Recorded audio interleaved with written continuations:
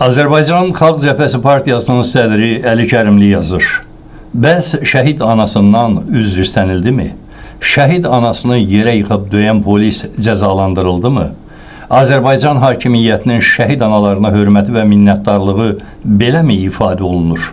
Xatırladıram ki, İlham Əliyev hakimiyyəti Milli Şuranın 19 yanvar 2019-cu il mitinqinə qədər heç şəhidlərin qan pulunu da şəhid ailələrinə vermirdi.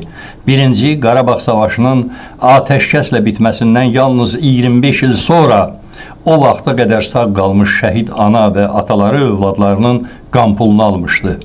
Onu da xatırlayaq ki, zəngin Azərbaycan dövləti öz şəhidlərinə kasıb Ermənistanın həyatını itirmiş hərbçilərinə verdiyindən təqribən 4 dəfə az qan pulu verir. Bütün bunları ona görə xatırlamalıyıq ki, şəhid ailələrinə, qazilərimizə, veteranlarımıza qarşı bu qədər haqsız, insafsız davranan hakimiyyət hələ utanmadan özünü milli hakimiyyət kimi də təqdim etməyə çalışır. Tərtər qətliamını törədən, 14 hərbçimizi işgəncə ilə öldürən, yüzlərlə hərbçiyə işgəncə ilə xəsarətlər yetirən bir hakimiyyət necə milli ola bilər?